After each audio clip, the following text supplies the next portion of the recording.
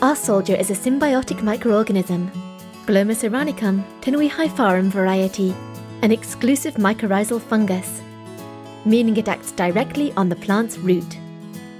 Unlike other types of fungus that act as intruders, it connects with the plant's DNA in a natural way within 24 hours. Their symbiotic relationship begins. The mycelium, thin roots produced by the fungus, connect to new roots. The plant will help the mycelium to connect by generating new, healthy and strong roots. This way, a vast network of interconnected roots from which both benefit is created.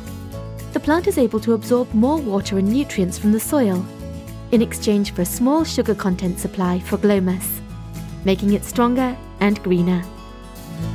A perfect synergy that will make your plants grow healthier and more balanced.